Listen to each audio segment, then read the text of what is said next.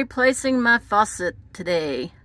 It has been leaking, well it looks like it's been leaking under here too, but it actually started leaking.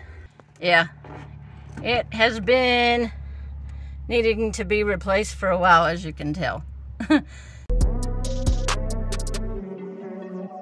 so that is my project today. I am doing it in the Ace Hardware parking lot here in Silver City in case I need parts.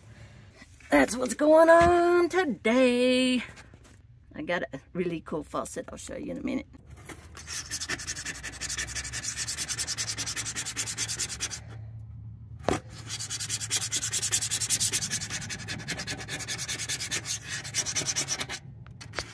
All right, here is my new faucet.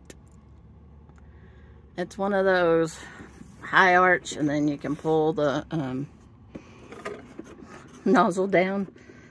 So let's get this installed.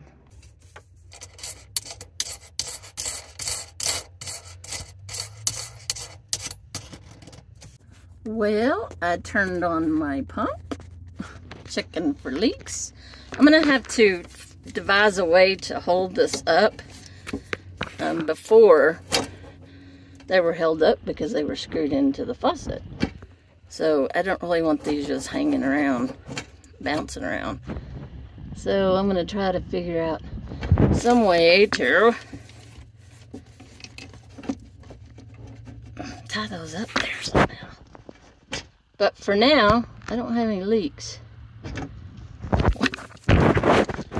And yes, I am surprised because if you've ever known me in any of my plumbing projects, it don't always go so well.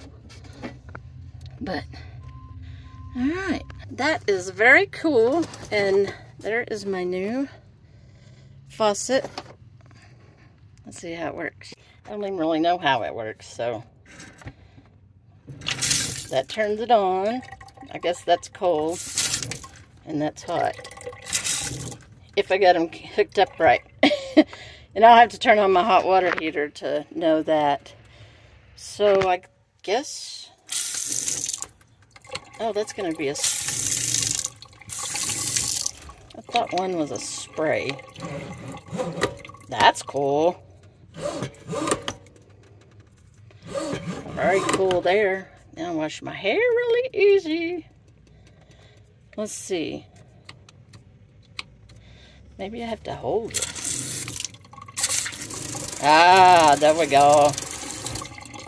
And I don't need to do that because I need to go dump before I run any more water down the sink. But how cool is that?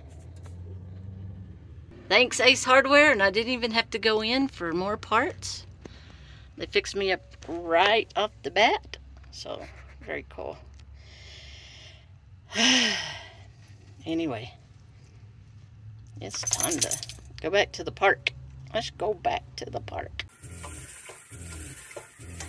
Get to film my birthday. Okay, there's my solution to hold the pipes up, zip ties. So I put up that little D ring or whatever up there in the back and then I attach zip ties to hold those up and so they won't bounce around.